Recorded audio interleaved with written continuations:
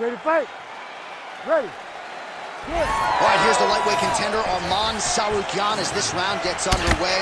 There are easier draws in a UFC debut than Islam Makhachev on short notice. He was competitive that night, and he has been largely dominant throughout his UFC lightweight career. He believes he will have both the striking and the grappling advantage in this particular matchup here tonight. All right, looks as though that strike may be... Ooh, big knee.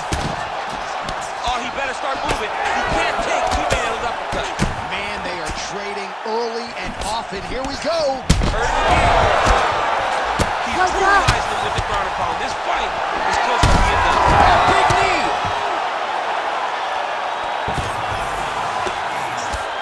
Big, big shots landed by him now. Oh, he just continues to attack that cut around the eye. Gotta think his vision's compromised now. As he should, right? He sees the blood pouring into his opponent's eyes. His opponent now is squinting, trying to maintain his line of sight. He has got to continue to go at that cut right now.